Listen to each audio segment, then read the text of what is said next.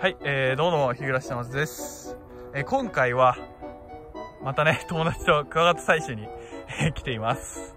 で、まあ前、来たところですね、まあ何がいるかわかんないんですけど、とりあえず探していきます。この木結構熱いんですけど、ここね、樹液出てるんですよ。だけど何もいないっていう。今日ね、気温が18度ぐらいで、まあかなり寒い。で、前回、昨日かな？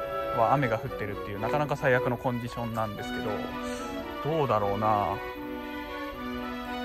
いるかな？いないなやばい。あいるいるいるいるえ、あ、え、待って。スズメバチもいるな。だけど、カブトムシのオス2匹と、オス3匹いるな。すげえ。え、今年初ですよ、これ。あ すげえ、ノコギリ。こ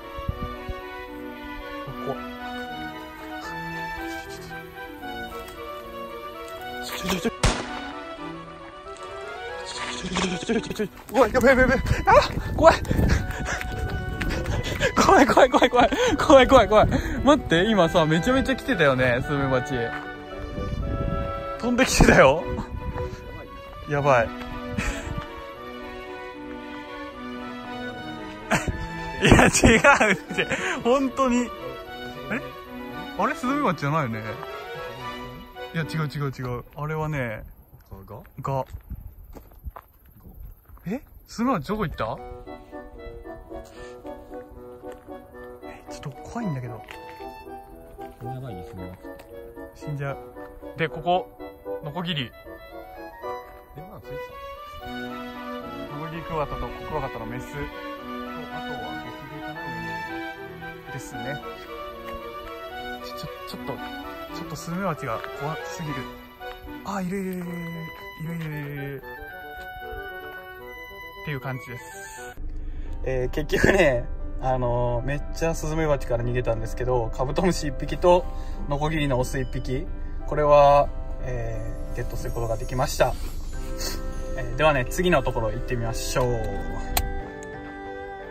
い、えー畑の横のポイントにね来ました。ここもね前スズメバチに襲われたところなんですげえ怖いんですけど。あの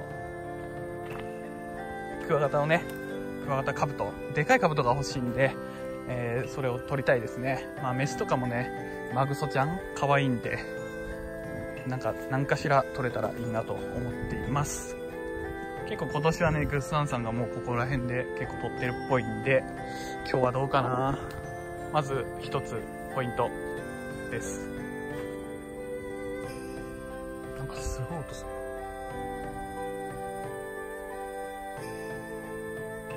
た？いないですねあここちょっと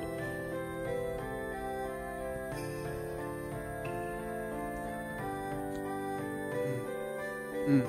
とりあえずこの木はいないっぽいですね。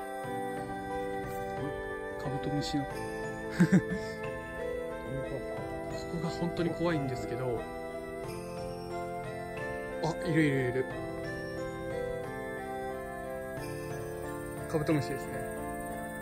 飛んでんのもカブトムシで、樹液吸ってんのもカブトムシっぽいですね。うん。あとはガがいっぱいいて。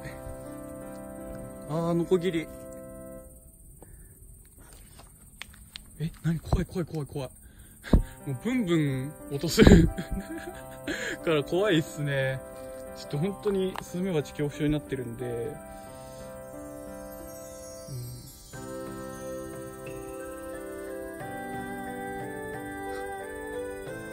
うんカブトムシがいっぱいいますね。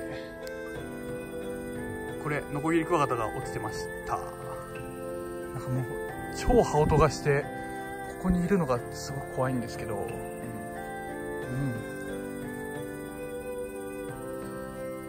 え？カブトかな？あ本当だ。カブト飛んでます。すごいなここやっぱり。でノコギリクワガタです。うん。これ洗濯バサミサイズですね。逃がしておきましょう。よいしょ。うん。すごいな本当にカブトムシが。ちょっとねあのでかいカブトムシやっぱり欲しいんで釣り用のネットなんですけど取りたいと思います。スズメバチスズメバチだまたスズメバチ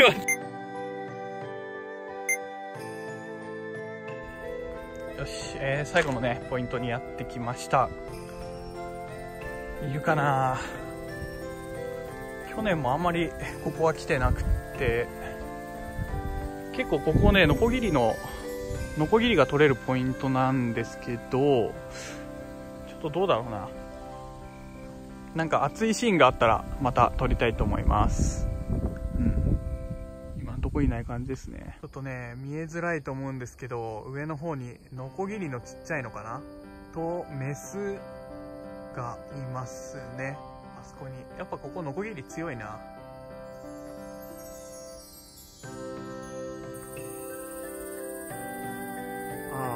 あああノコギリのメスとオスとなんかカブトムシっぽいのがいるな。まあでもそんなに大きくはないですね。うん。あそこは定期出てるんだ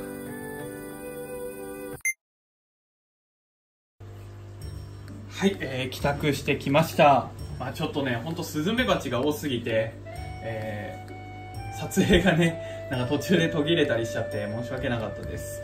で最終的に、えー撮れたのが、まあ、カブトムシのオス2匹と、えーノコギリクワガタのオス1匹。あー。3匹か。でうちノコギリクワガタのオスはまあ2匹がちっちゃいやつ。ですね。最後にあの採集してた場所で一応ノコギリは、えー捕獲することができました。でこのノコギリがまあ一番大きいものになるんですけどまあ65ミリぐらいですかね。そんなに大きくはないんですけど、まあ、形が綺麗でちょっと赤みが強いんでねあの僕好みかなっていうふうに思ってます。かっこいいですね。でカブトムシが、えーこちら。とこちらですね。最初に撮った方がこっちになるんですけどこっちの方が大きいですね。やっぱ立派なカブトムシになります。なんかこの前ニュースで見たんですけどなんかタイでねこの日本のカブトムシがすごい高く売れているっていうはい1ペア3000円とかで売れてるらしくて。まあでもやっぱりこう久しぶりにカブトムシを見るとねかっこいいなって思います。日本のカブトムシもね外国産のカブトムシに負けてないなっていうのはなんあの今回ね撮って思いましたね。ちょっと赤みの強いタイプにもなるかなこちらは。戻してあげましょう。まあこの個体たちはねあの一応飼育してであのクワガタテラリウムテラリウムを作るときに、まあ、日本のこう自然をイメージして、えーまあ、このレギュラー3種を入れて、まあ、なんかかっこいい感じにしたいなっていうふうに、え思ってるので、えそちらの方もね良ければご視聴のほどよろしくお願いします、えー今回はねこれぐらいで動画終わりにします。ではご視聴ありがとうございました。またのご視聴よろしくお願いします。さようなら。